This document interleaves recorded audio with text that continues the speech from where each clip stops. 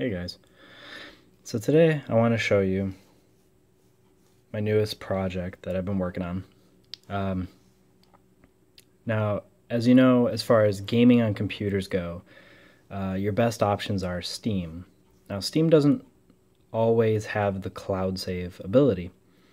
A lot of older games just are not under that realm. So uh, when you're playing a game, like let's say an older game like Diablo, um, or uh, Warcraft 3, and you want to play through the storyline, but eventually a new operating system comes out like Windows 10, right?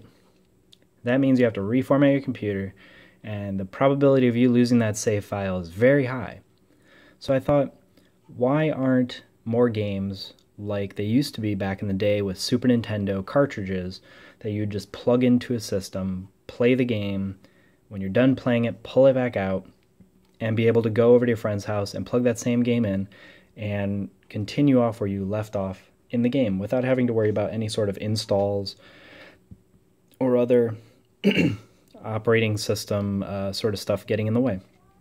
So that's what I made this project where we take a either an SD card or a USB thumbstick. You can take either or. Um, this is a 32 gigabit um, micro SD card just plugged into an adapter here. Now I hate these adapters because they have these little lock switches, and this one really is finicky. Um, I, I swear to God, I could barely slide this thing in, and it could just pop into lock mode, and you're screwed. But so I recommend buying. I mean, realistically, you can buy one of these uh, adapter with micro SD card for I bought this one on eBay for seven dollars and I think ninety five cents free shipping, so it's eight dollars for thirty two gigabit chip. That's really good considering, you know. So you buy your game, and you use certain programs to install them on here, and I'll share I'll share that with you a little bit later. But for right now, here is our finished product, and I'm just going to show you what the finished product looks like first, uh, so you can see if you really want to dive into this or not. so I'm going to plug it into my SD card reader which is plugged into my computer here. And it is through USB. This is not built into my computer.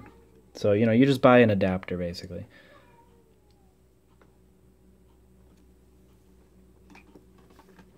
And this one's being very finicky. Okay. so you plug it in there. I have an auto start um, script in here, so this automatically pops up. It has an icon and the name of the file. So, uh, or the name of the SD card, so you know it's called the Blizzard Entertainment Catalog. And I put a little uh, icon of uh, the Orcs and Humans from the first game of Warcraft 1.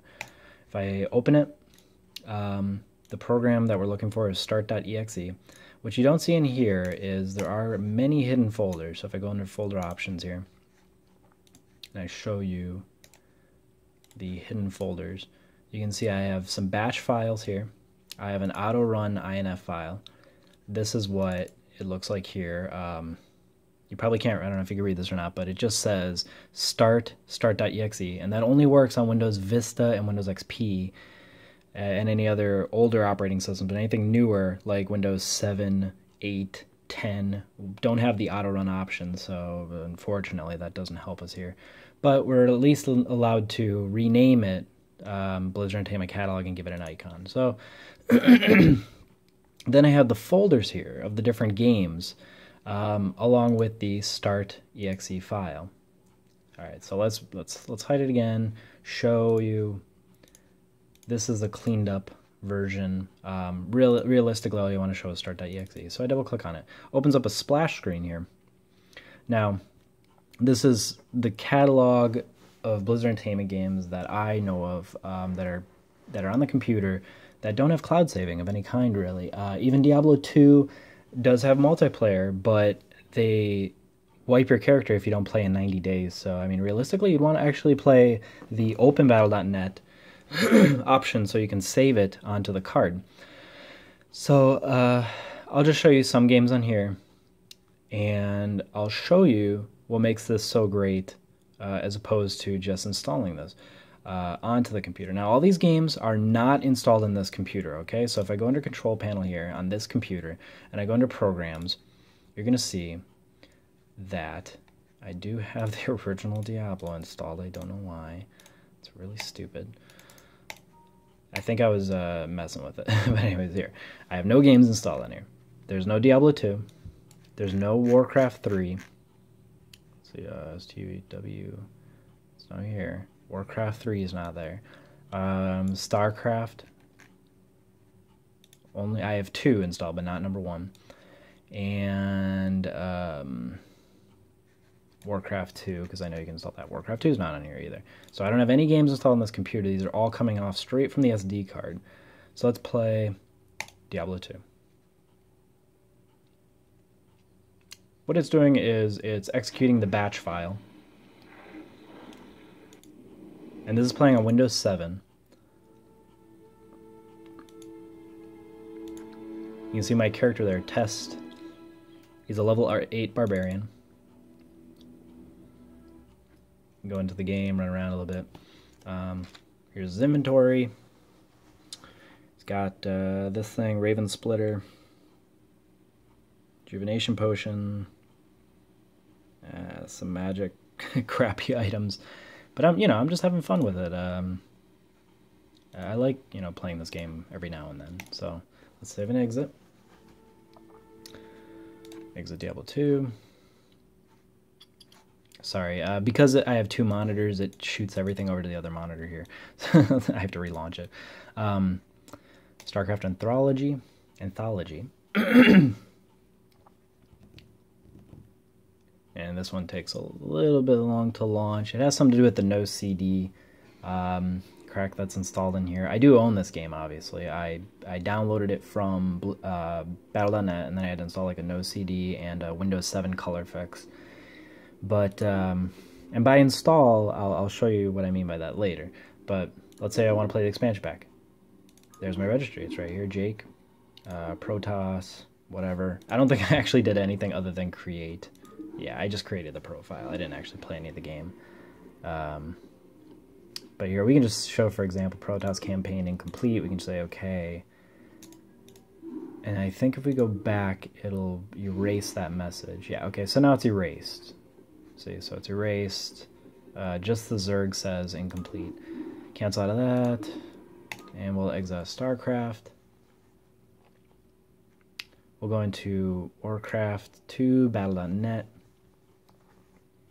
And this one takes a while to launch too has a lot to do with the uh, no CD sort of crap.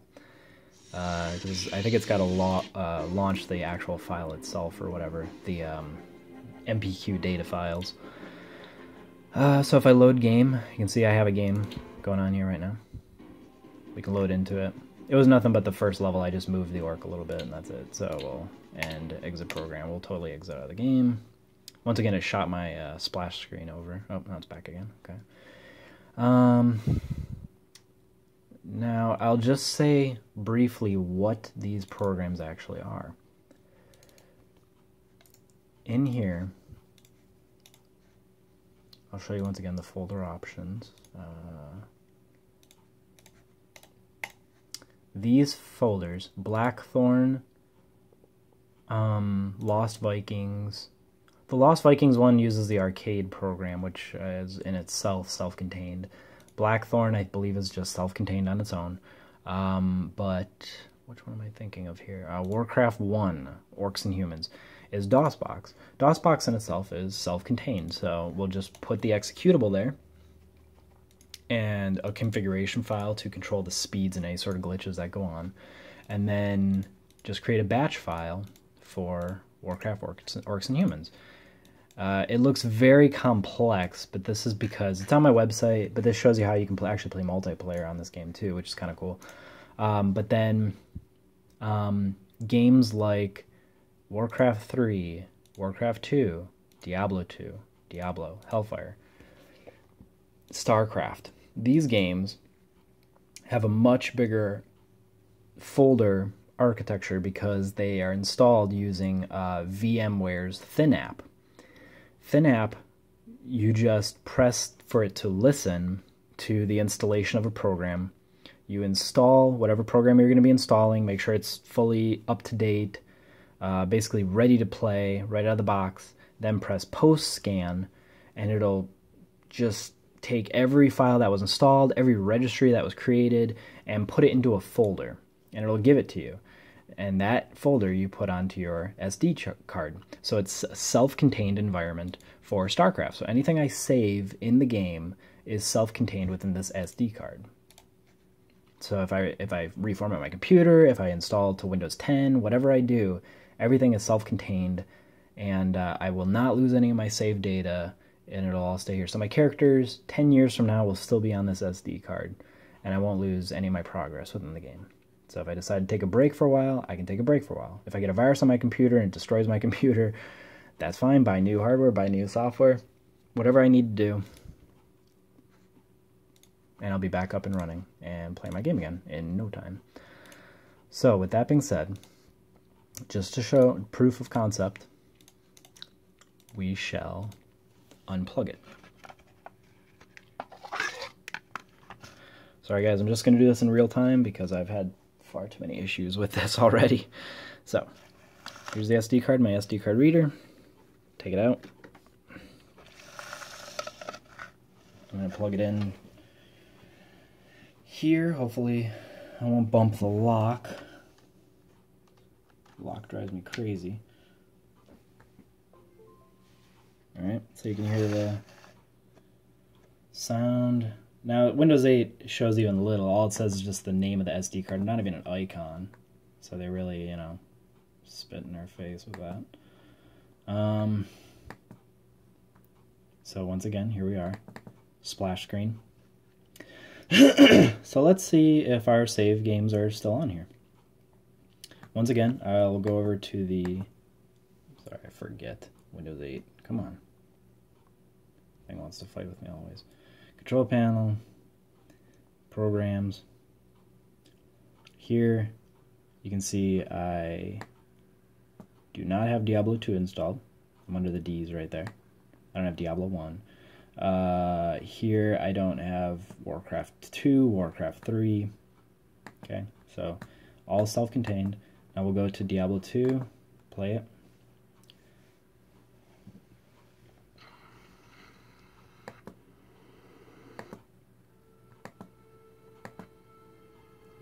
Character again.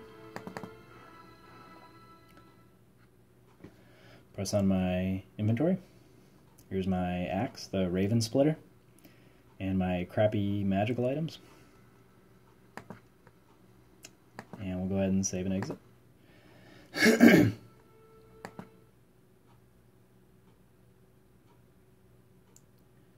uh, Warcraft 2. Give it a little bit because it's, uh, once again, the no CD.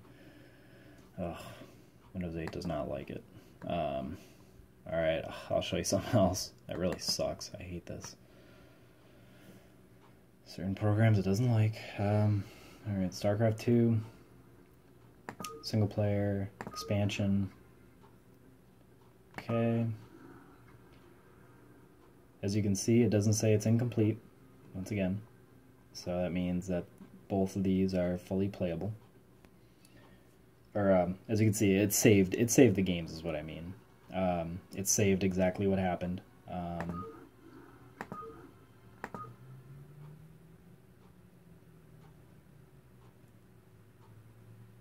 forgot to show Warcraft 3.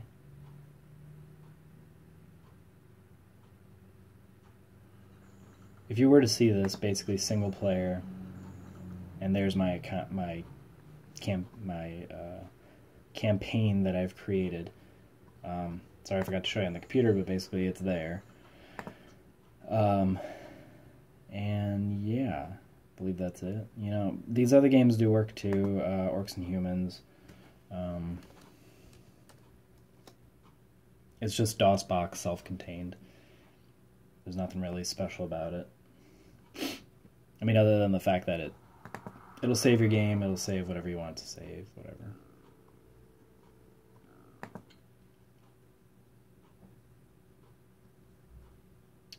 Um, Hellfire, I think, works.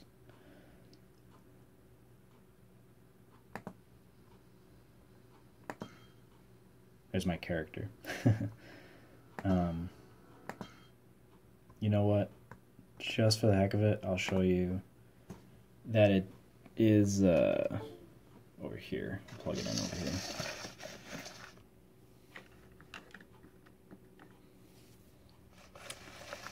And prop this back up again.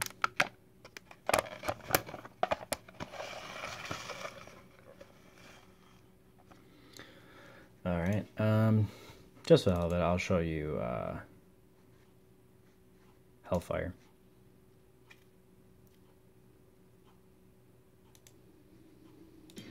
There's my character again, noob. And here is Frozen Throne again.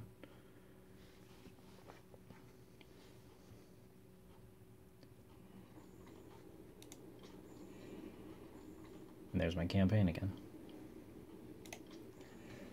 So see, everything is now self-contained within the SD card. I'll I'll manage the um, other game, uh, Diablo. Wait, no, Diablo two.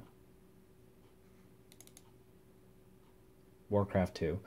I'll work on the uh, Warcraft two a little bit more um, to get that one working. But you know, it's just really a battle between um, Windows 8.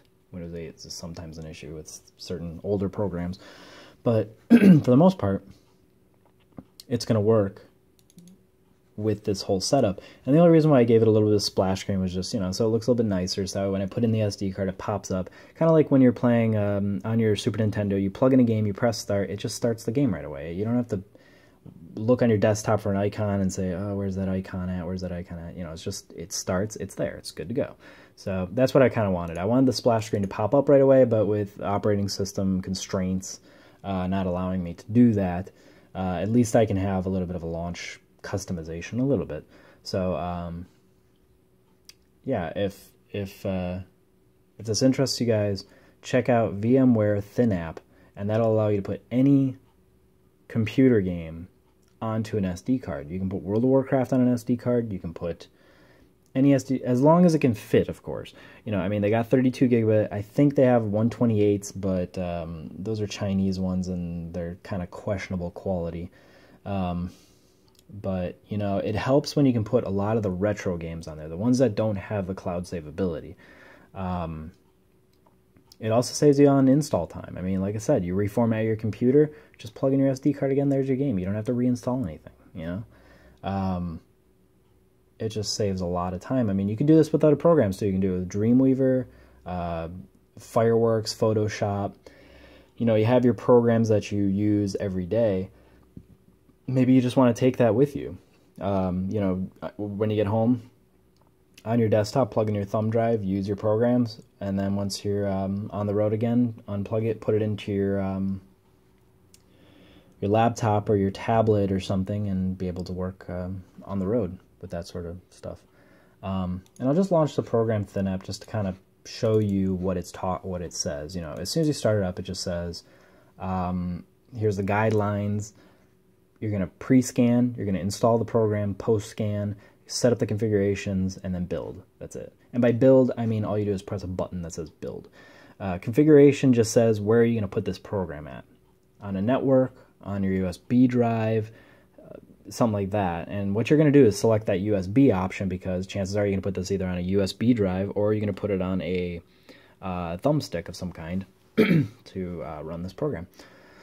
So you know, I think it's a really good idea. And um, some other fun things that you could do with this is maybe you could, uh, if you have a 3D printer or something, if you have a 3D printer, you could print out like something like a, a console, right? You could you can make a little USB um, like Super Nintendo or something like that, right?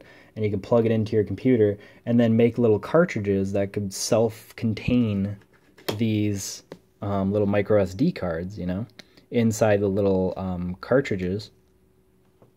So you have like a Super Nintendo cartridge you just plug into a, uh, you know, into uh, your Super Nintendo, your 3D printed Super Nintendo, and uh, make little labels for them or something, and say like this is the uh, battle, this is the Blizzard Entertainment catalog right here.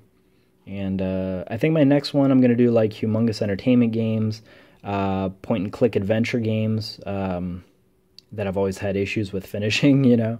So that way, if I get halfway through it and I reformat my computer, I don't lose the whole process all over again.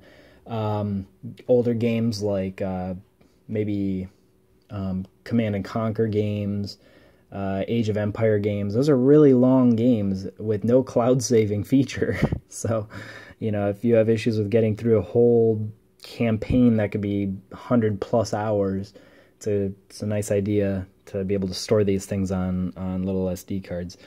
Um, so anyways, if you guys liked watching that, uh, be sure to check out my website, newagesoldier.com, for other projects. Uh, but otherwise, I'll see you guys next time.